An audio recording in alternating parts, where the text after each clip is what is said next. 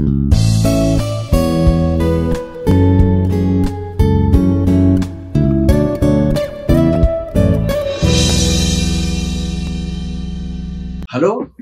and good morning to all. Here I am Dr. Y.D. Dwivedi, professor from Institute of Aeronautical Engineering, Hyderabad, India.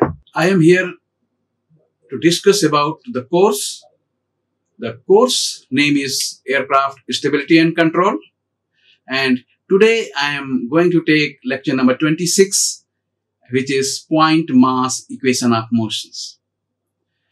Till now we have discussed about aircraft longitudinal static stability, aircraft lateral and directional static stability. And we have done so much work and we have completed 25 lecture on this. Today I will go further small re revision and then I will proceed ahead. These are my lectures topic for the day and I will start with the revision of directional and lateral static stability, which recently we have covered. Then I will go for the contribution of dihedral on lateral stability, contribution of sweep on directional stability, then a small derivation on point mass equations of motion. This lecture answers the following questions. What is point mass? What is the application of point mass equations of motion? These things I am going to discuss in today's lecture. So I am just first proceeding with revision which we have already completed in the last hours and here first I will go for the static stability. So what is the static stability? It is the it is the tendency of the aircraft to return to its equilibrium condition. So once the tendency is there that it is trying to reach to its equilibrium, we say that it is a statically stable. In this, we are not involving any time factor. But for the dynamic stability, a time is after a finite time, the system is going to be stable or unstable or neutrally stable. So here we have already done with longitudinal static stability. In this case, we have seen that if dCm by d alpha is less than 0, then we can say that aircraft is longitudinal static stability. So we have seen that this is called Cm alpha is less than 0 and second con condition Cm naught is greater than 0. So we have seen that if the we are plotting Cm versus alpha or Cl and the plot is going negative like this, we say that this is the Cm alpha is less than 0 or negative. And here the Cm naught should be greater than 0 or positive. So if it is, we are, if we take the aircraft in wind tunnel and we have, we are finding out the coefficient of moment. And if the coefficient of moment, when we increase the angle of attack, if the coefficient of moment is decreasing, then we say that aircraft is longitudinal static stable. It means once the aircraft and uh, Cm alpha indicates that the tendency of nose if see this is the aircraft and aircraft is flying like this, if the tendency of nose after alpha disturbance it, it will go up and if it is trying to come back, means it is a negative Cm alpha, it is anti-clockwise. The Cm which is anti-clockwise, then we say that aircraft is longitudinal static stable. Next we have discussed about this um, uh, directional static stability. In directional static stability, we have seen that Cn beta should be greater than 0. So what is the Cn beta? It is the variation of coefficient of yawing moment. Cn is a coefficient of yawing moment. If this coefficient of yawing moment Cn varying with side slip angle beta, if the beta is positive, Cn is positive. If beta is negative, Cn is negative. If it is like this, we can say that it is a directionally static stable. So if we plot here, just you can see here, this is the Cn and this is the beta. And if we make plot like this, this is the directionally stable plot. This is the directionally stable condition for the plots Cn and beta. So it, it means if the beta we are increasing from 1, 2, 3, 4, your Cn will also increase 1, 2, 3. Like this. If you are getting plot in this fashion, then we can say that aircraft is directionally stable. If you see about the lateral, lateral static stability means rolling. If aircraft is flying and if wings are going like this, it means it is aircraft is rolling. So in the rolling condition, the coefficient of rolling moment CL beta should be less than 0. So if you see that this is the CL and this is the beta means side slip angle and if the plot is going like this, so it is a, this plot is lateral stable. Okay. So to have the aircraft laterally stable, the plot of CL versus beta, it should be negative. So what are the main contributor of this longitudinal static stability is main contributor is horizontal tail. The horizontal tail makes the aircraft longitudinal stable. However, the uh, wing, wing if the aerodynamic center is behind the center of gravity of the aircraft of the wing, then we can say that it is statically longitudinally stable. But mostly the aerodynamic center of the wing will be ahead of the uh, ahead of the center of gravity of the aircraft. So it will give a positive CM and this positive CM means clockwise direction. Nose will go up. So if the nose, the wing tendency mostly make the aircraft unstable. Same way, the effect of fuselage will also be destabilizing. So the exact work of the horizontal tail is to give a negative Cm alpha and it will make that so that aircraft will be statically stable. So this is the purpose of the horizontal tail. For the directional stability, the vertical tail is the primary component. So the vertical tail makes the aircraft directionally stable. And for the lateral stability, there is a wing configuration. If the wings, uh, as you can see here, it is a high winger and here is the low winger. So if the wing is high, it is laterally stable. If the wing is at the lower side, this is unstable unstable. Okay, but to have this low winger and also laterally stable, we have to give the dihedral. So here is the, this is the angle, which is called dihedral angle. So if we give the dihedral, then aircraft will be laterally static stable. So to have the lateral static stability, either wings should be high winger or if the wings are lower winger, then it should be dihedral. Some angle, the tip should be out uh, above the horizontal plane. If it is like this, then we can say that aircraft is laterally stable. Here I have shown that aircraft coefficient of moment, okay, uh, pitching moment, it is the summation of Cm alpha of wing plus Cm alpha of fuselage and Cm alpha of tail. This Cm alpha of the wing is, it depend upon the aerodynamic center of the wing. If the aerodynamic center is behind the center of gravity of the aircraft, then Cm alpha of the wing is less than zero. And if the AC is ahead of the uh, CG, then Cm alpha will be greater than zero. So it, the wing position is depend upon the aerodynamic center of the wing. So, but the fuselage always will give destabilizing and here the actually effect of the fuselage will be ahead of the center of gravity. So the fuselage will provide always Cm alpha positive.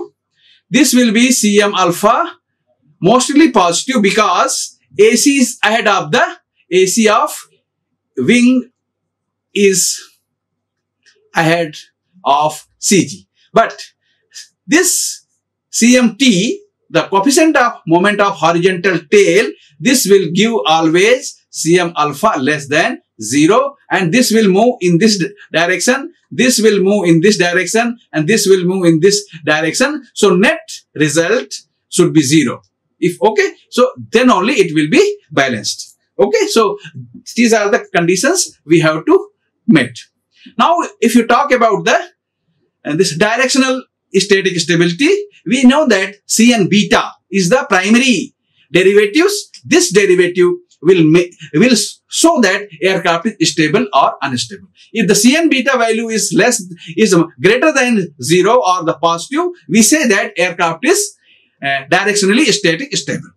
Okay. So here we can say that Cn beta, it is, Cn is what? It is a yawing moment, coefficient of yawing moment and this Cn is equal to Ym. Ym is what? It is a um, yawing moment divided by half rho v square s and b. This half rho v square is the velocity of free stream, s is the area and b is the span of the wing. So this, you can see here that for the directional static stability, Cn beta should be greater than 0 as shown here.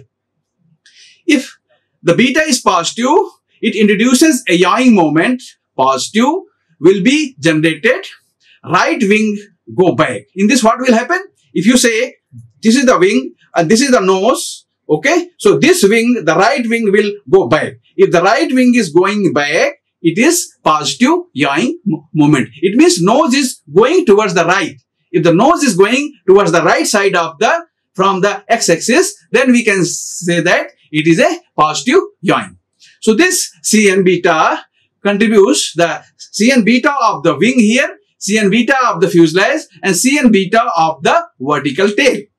So here we can see that what is the effect of the vertical tail.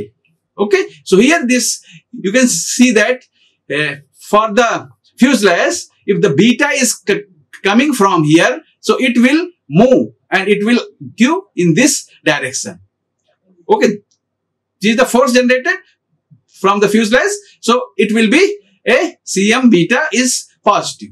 Okay. But here if you see, if this is your vertical tail and from here this beta is coming, okay, this is the beta. So this beta will generate a force Fy, okay, this force into this CG distance, let it be LV. So this Fy into LV and this will be in this direction. Okay. So this is the, so for the positive beta, aircraft nose if this is the nose, it will move towards the positive direction. Means this beta will be neutralized because it is from here, it is going and mixing here. So it is trying to neutralize the beta. And same way it is happening to here also. If the vertical tail is downwards also, it will give force in this direction. Your aircraft will turn towards the beta. So Either you keep your vertical tail upward or vertical tail downwards. The effect of same, the directional stability both will maintain. But we cannot put downwards because it may hit the ground. To have the safety from the ground, we are putting the vertical tail upward so that it is maintaining the longitude, this directional stability and also safe from hitting the ground during landing and takeoff because during the takeoff, your nose is going up, but tail will go down and tail may hit the runway. To avoid that, we are placing the vertical tail upward. Okay. So here, uh, also the sweep of the wing is also giving Cn beta positive. So stabilizing effect of the wing when it is swept, it will give directionally stable.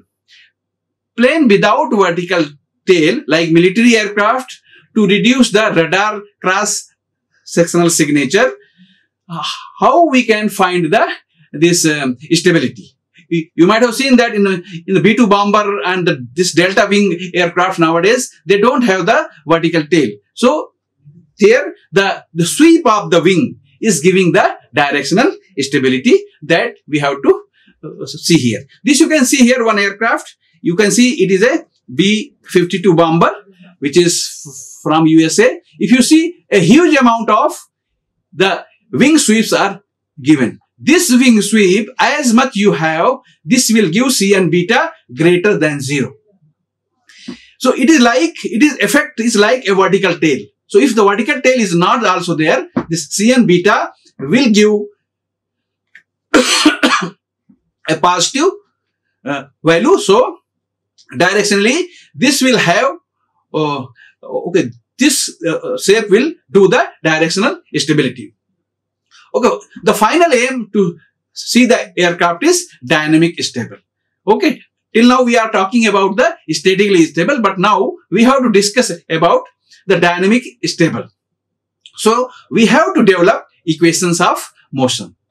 So if it is disturbed and whether it is damping out or not. So dynamics means it is depend upon the time.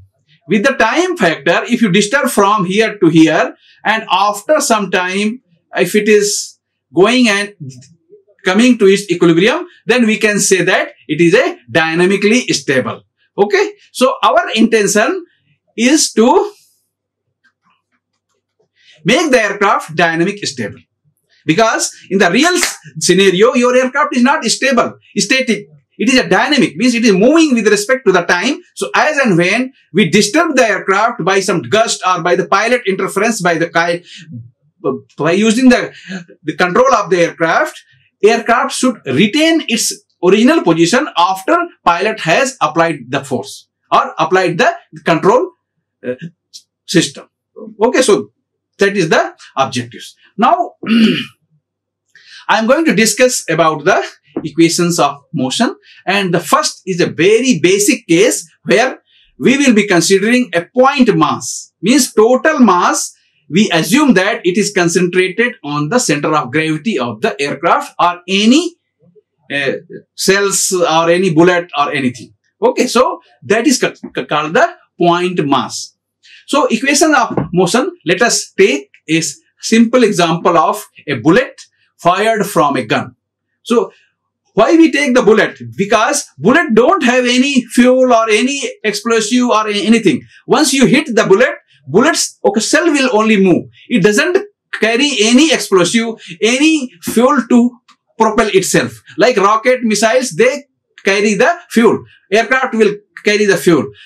There, we cannot assume that mass is constant. But here, if you hit the bullet, a bullet is a very perfect case for the point mass uh, system. So this projectile of mass m fired at a flight path angle gamma, we want to know change in position and the velocity. So what is the meaning of equation of motion? That how much its distance is changed, how much its velocity is changed, how much its acceleration is changed. So we have to derive the equation for point mass systems. You can see here that here whole mass, the point mass means whole mass is concentrated in this point. Okay. And it is a CG of the pro projectile. So here drag will be there. In this case, drag will be there. So CD can be find out. In this coefficient of drag or drag, we can find out opposite to the V. So this drag will be opposite to the velocity of the system. So we here we use that alpha is equal to 0 means angle of attack is 0. So lift will not be there. So L will be 0.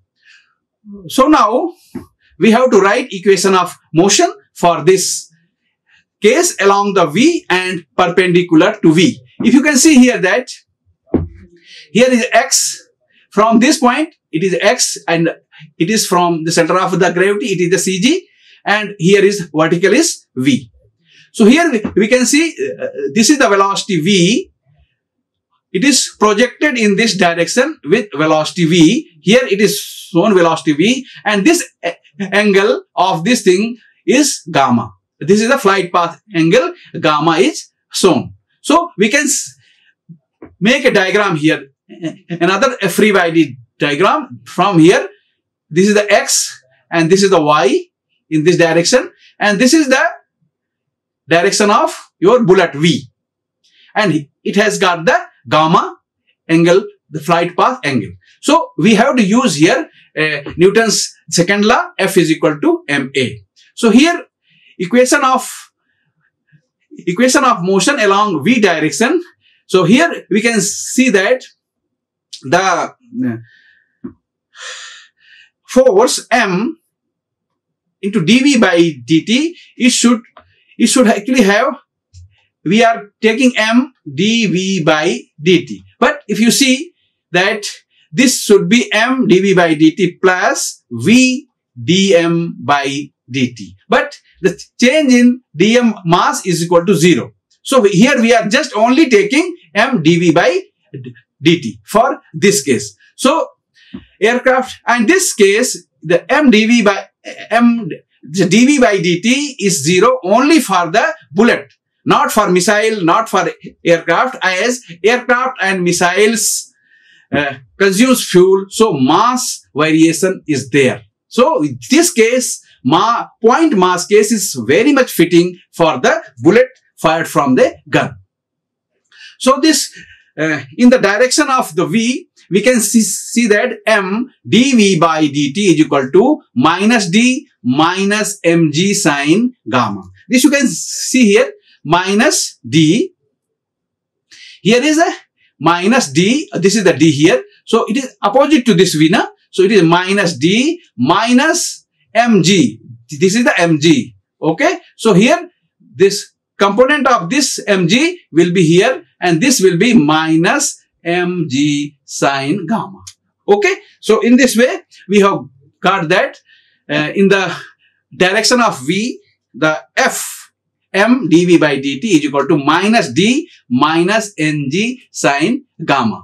And for the this towards the y-axis, if you see here, if any object is moving with velocity v, so we will have a centripetal force and this centripetal acceleration is m this v square by r and this is the centri centrifugal force. Okay so this centrifugal force mv square by r and this is in the y direction are perpendicular to the v.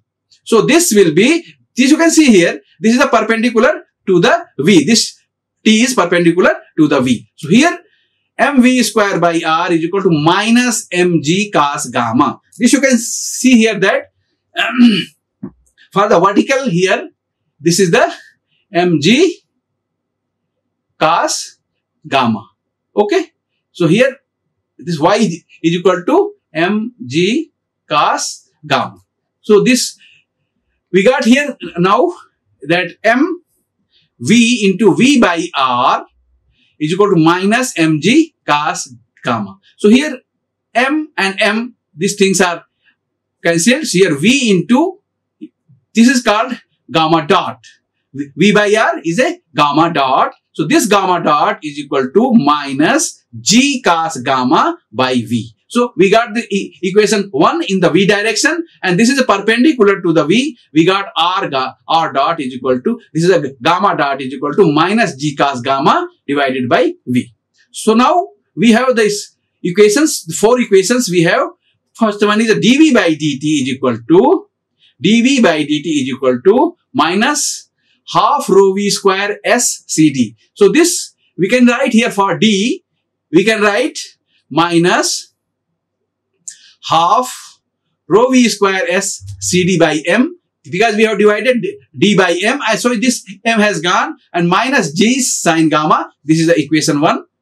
And for this, we can write d gamma by dt is equal to minus g cos gamma okay minus g cos gamma by v third e equation is in the x direction this is the velocity dx by dt is equal to v cos gamma and the y direction it will give v sine gamma so this v sine gamma is gives the alt altitude of the aircraft and this gives the range or the distance of flight so how much distance it will go? We can find out by dx by dt is equal to v cos gamma and how much height it can sustain. This you can find out by dy by dt is equal to v sine gamma and what is the acceleration dv by dt. This is the acceleration is equal to minus half rho v square s c d by m minus g sine gamma. And what is the rate of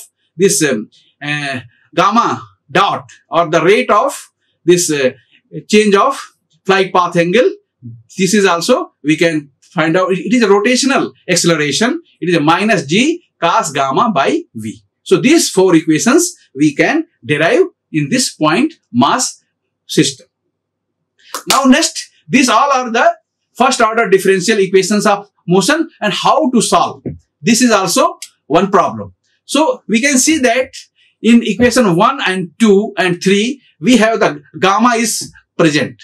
They are coupled first order equation of motion. So we have to have some initial condition. So if we put some initial condition, we can solve these equations of motion. So how to solve now? So at we have to give some conditions and it, this is called the initial condition. So these are the conditions. So at time t is equal to 0, x will be x naught. This is the first condition and at y is equal to 0. So x is equal to 0 and y is equal to 0. It is the initial. If it is starting from here, here x is equal to x naught and y is equal to y naught at time t is equal to 0. So this is the, the first condition. Now second condition at time is equal t is equal to 0, the velocity v is equal to v0. This v0 is called the launch velocity. Okay, so and at t is equal to 0, r is equal to r naught and this r, this gamma is equal to gamma naught. So it is called the launch angle. This launch angle gamma may be 1 degree, 5 degree, 10 degree or whatever. These conditions to be given. So value of x that is called the range and the y is called the altitude. We can find out how much maximum range and how much maximum altitude this aircraft can go by using the equations of motion which we have just now find out. So in point mass, it is a simplified version which we are going to study by the, and we can solve by the numerical methods. You can use the MATLAB or any standard routine, this routine. Okay, so MATLAB is very important tool which we have to apply to solve these equations. So now I am going to discuss about the degree of freedom. We know that aircraft has got the 6 degree of freedom. The 6 degree of freedom, we can say that here in this diagram, this is the CG and it is in X direction. This is the Y direction and this is the Z direction. So if aircraft is moving in X direction, it can move in the Y direction in the linear and it can move in the Z direction. Also, it can rotate with respect to X direction that is called mx. It can also rotate with the y direction. It is called my. It also can rotate in the z direction. So there are three linear motion and three rotating motion. This combinedly, we can say that there are six degree of freedom of the aircraft. So here I have shown fx, fy, fz and mx, my and mz. So we need the coefficient to find all these six values because we have to use the coefficient. So time is involved to solve. So here involvement of time t makes the system dynamic. So it is necessary to understand the equation of motion clearly so that dynamic behavior of the aircraft can be understood very well. So that is the function of.